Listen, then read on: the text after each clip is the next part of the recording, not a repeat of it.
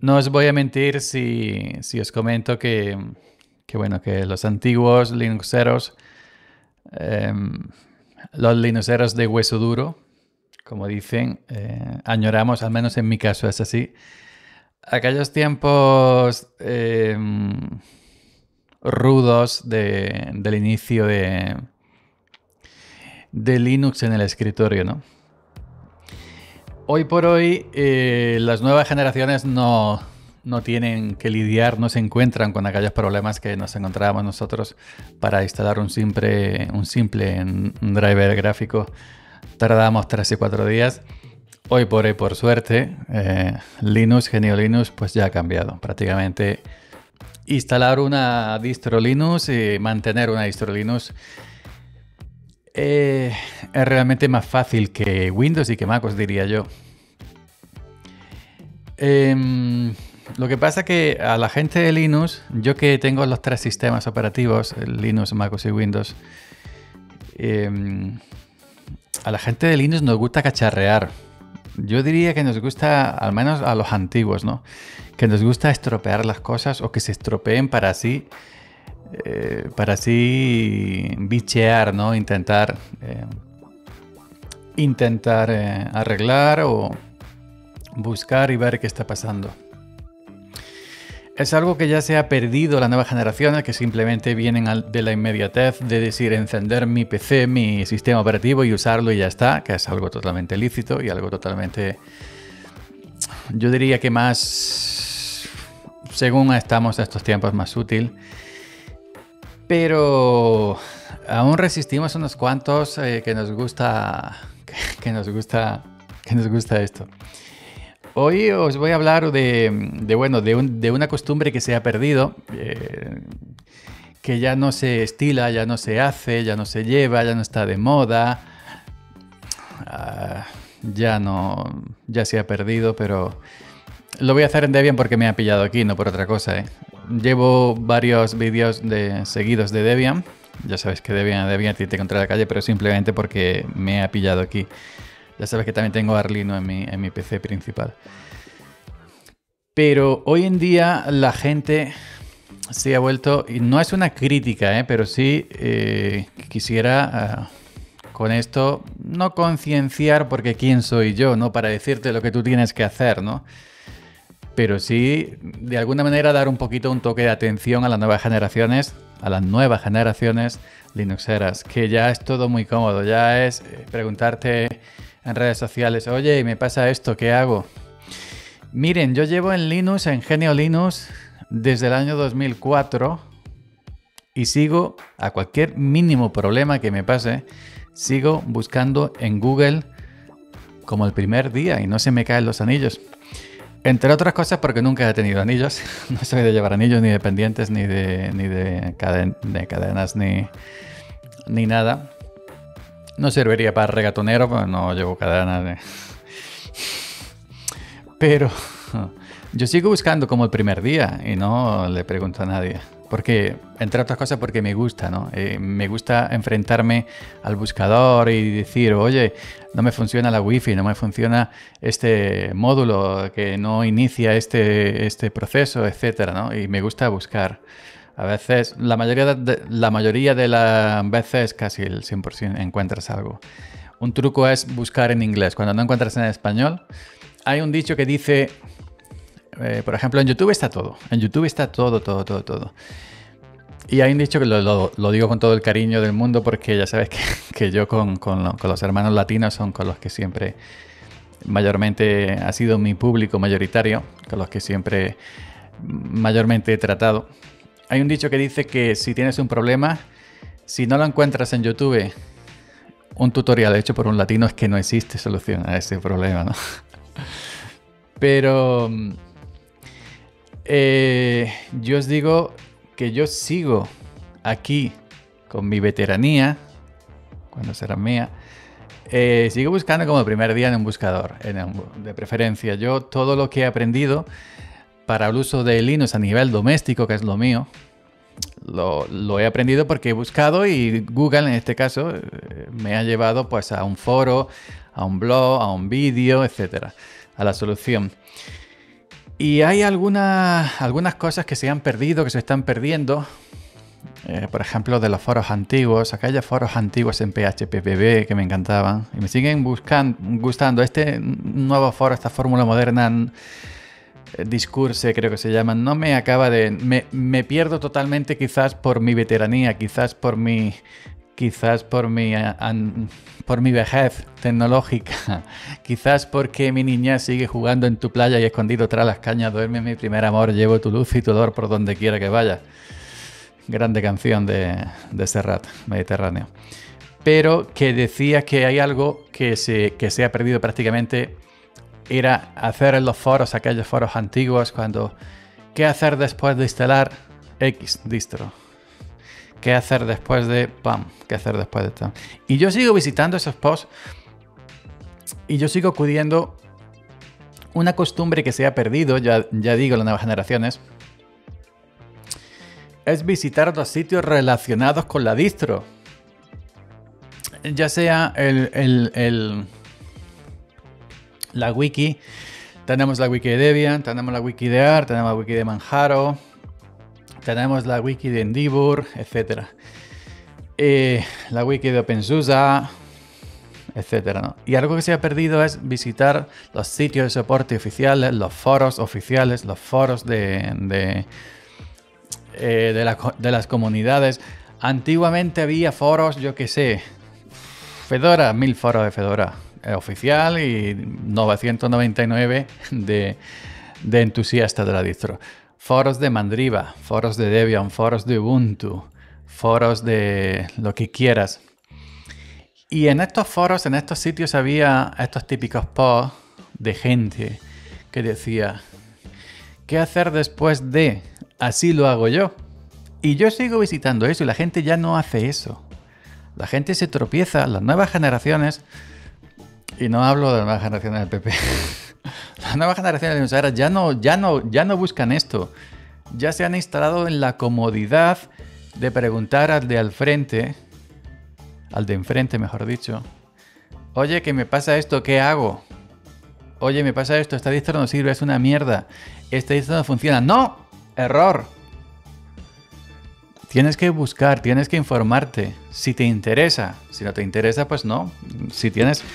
¿Por qué yo sigo aquí? Como cantaba Shakira, y yo sigo aquí.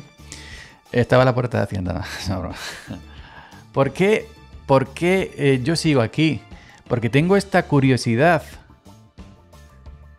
por Linux, por Genio Linux. Yo ya sabéis que no uso Genio Linux por, por, por opciones tan altruistas como otra gente, por software libre, por no sé qué. Que eso es un añadido que es fantástico, maravilloso, auténticamente. Pero yo, yo uso simplemente genialines porque me encanta, me fascina que se ha perdido todo esto. Se ha perdido. Y entonces yo quisiera con esto, quisiera, que cantaba Ella baila sola, que me encantaban, Ella baila sola. Yo quisiera la, pared. Eh, recuperar un poquito que la gente visite un poquito aquellas cositas. Por ejemplo, yo en Debian, que es la que me encuentro ahora mismo por casualidades, que no es porque haya dejado miar con plasma, simplemente por casualidades. Em, pues una buena cosa es visitar para el portal de Debian, como si estás en AR, visitar portal de AR. Y luego, pues los sitios relacionados con, esta, por ejemplo, Debian en Reddit, en este caso, vuelvo a repetir, puede ser otra distro de vuestra, de vuestra preferencia. Pues a mí me gusta, aunque no tenga ningún problema, aunque no tenga ningún problema, me gusta visitar estos sitios simplemente porque me, entero de cosas, digo, coño, pues esto yo no lo sabía. O a lo mejor, a lo mejor veo un problema porque las distros están llenas de, problemas, de problemas gracias a, Tux, porque así no nos enteramos de cómo, de cómo solucionar ciertas cosas.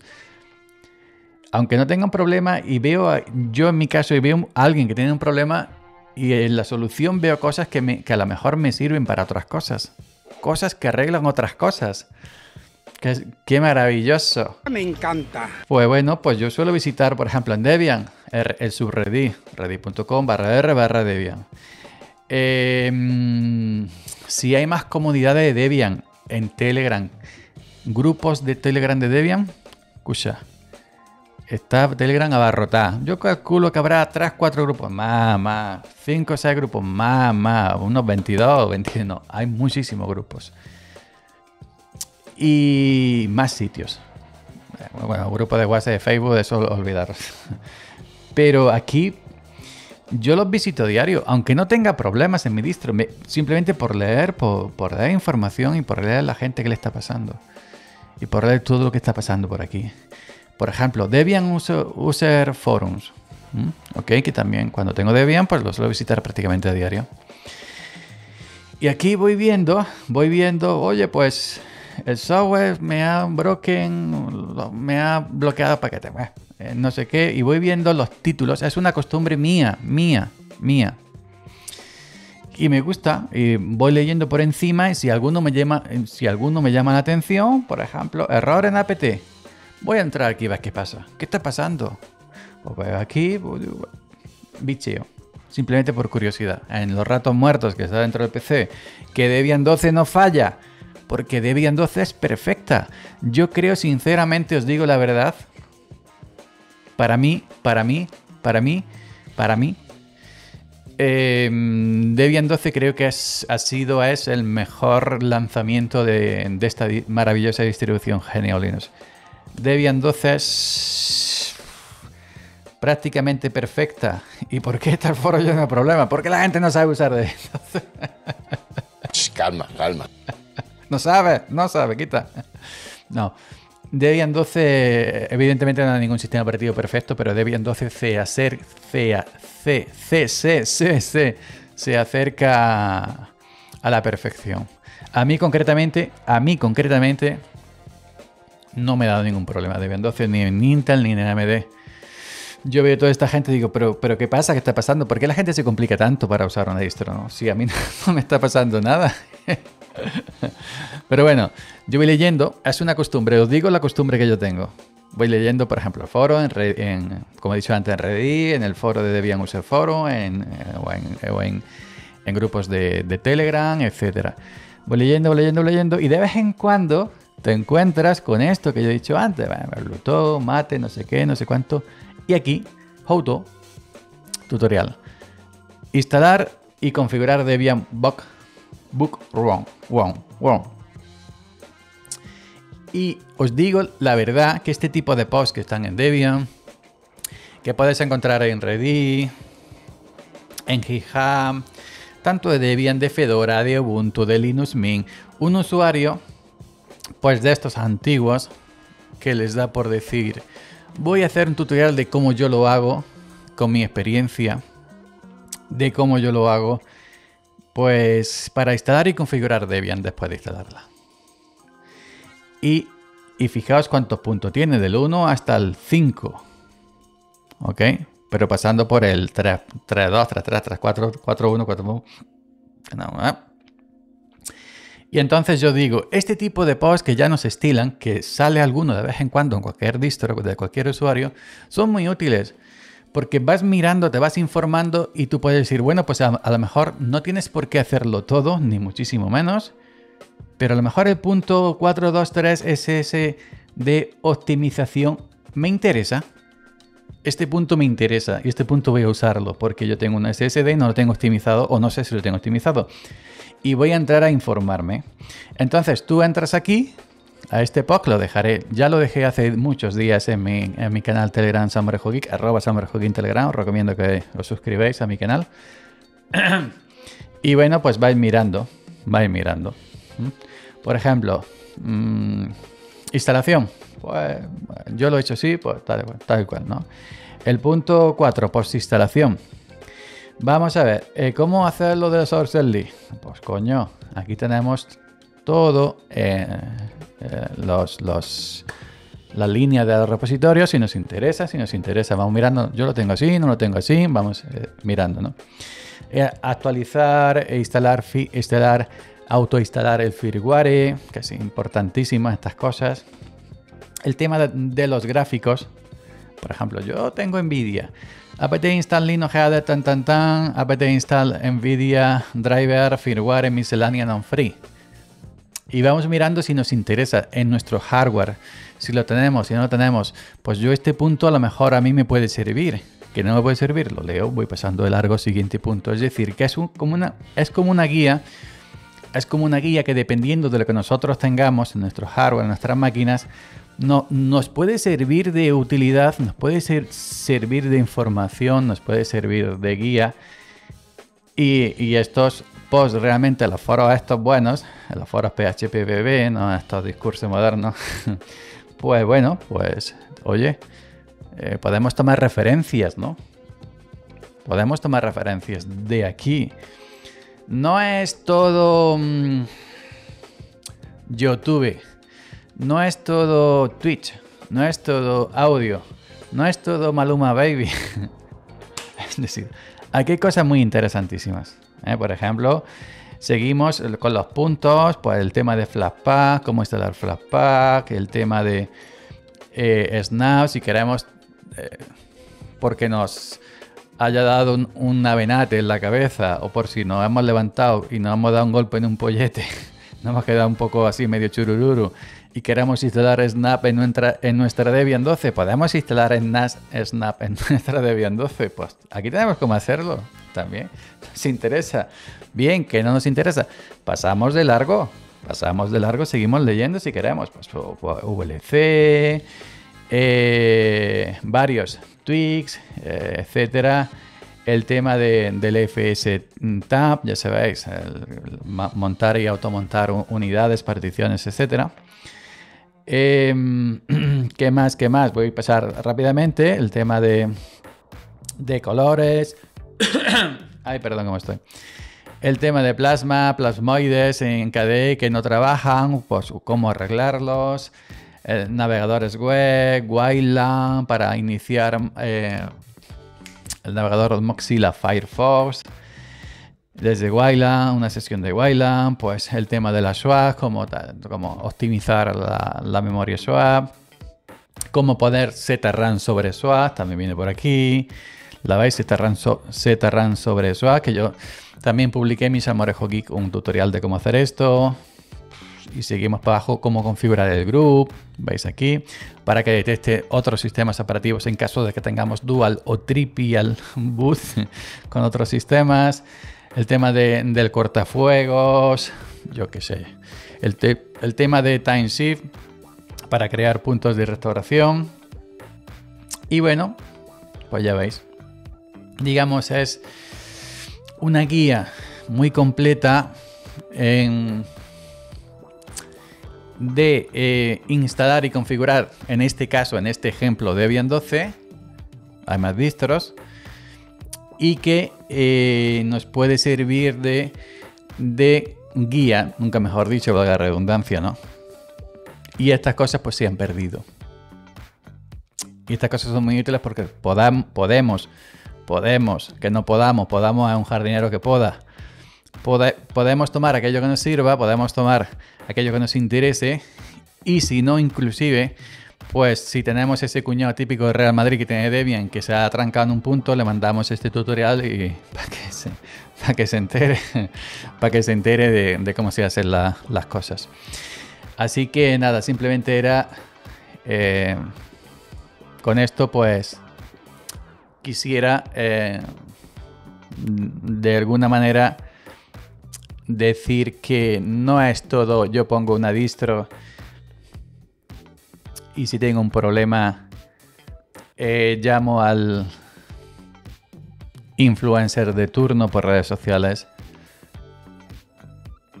Entre comillas lo, de influencer. Y, y, y, como dicen, como suelen decir, que y lo queremos todo mascado, todo masticado. ¿Mm? Solo salimos a la calle que nos dé el sol y a calentarnos. No, tenemos que meternos dentro de la cueva y buscar nosotros las cosas también, hacer un poquito, un poquito de, de autoinvestigación. Si nos interesa este mundillo, si no te interesa, si simplemente quieres abrir YouTube y escuchar Maluma Baby, ya no te digo ni siquiera ponga Debian, no quédate en Windows Vista o Windows XP. Pero, pero el mundo va avanzando Y no me refiero al diario El Mundo. El mundo va avanzando y las tecnologías van avanzando, evidentemente todo va todo va enfocado a la facilidad hacia el, usuario que no tenga que hacer nada, simplemente dar el botón y ya está. A costa de nosotros, de, de, nuestros datos, de nuestra privacidad, de nuestro estilo de vida, nos quieren, nos quieren, uh, nos quieren prácticamente, yo qué sé, que seamos automáticos, que nos den a un botón y bailemos al son que ellos quieren pero em, nunca, está de más, nunca está de más eh, tener conocimientos, porque como dice bien, y dice bien el refrán, me estoy quedando así a, final del vídeo, será la hora, que son las 9 y 1 de la mañana. Como dice el refrán de, flan, de Flandul, como dice el refrán, eh, el saber no ocupa lugar y de debía a ti te encontré en la calle. ¡Caso cerrado! Así que pongamos un poquito de nuestra parte. Eh, no dejamos perder estas tradiciones auténticamente maravillosas. Y, si tienes esa curiosidad, si usas Linux por esa curiosidad, yo te doy la enhorabuena, ¿no? Porque tienes esa, esa chispa, esa chispa adecuada que cantaba Eros de Silencio, ¿no? Qué pena que se separaran porque luego ya el cantante por sí solo no, mm, no me... Mm, yo, héroe sí, no, Enrique Bumburi, no acordaba. Pero como decía aquella canción, todo arde si le aplicas la chispa adecuada. Pues esta es la chispa adecuada. Aquellos tutoriales que hacer después de... Y nada, espero por lo menos haberos haberos removido un poco las conciencias, por, por lo menos haberos despertado esa, esa curiosidad necesaria para usar este sistema operativo y que lo mantengamos. Y no nos instalemos, nunca mejor dicho, en, la, dejadez de, decir que me, lo, que me lo apañe otro, que me lo arregle otro. Aquí estamos nosotros para hacerlo por nosotros mismos. Magnífico. Todo ha quedado clarito.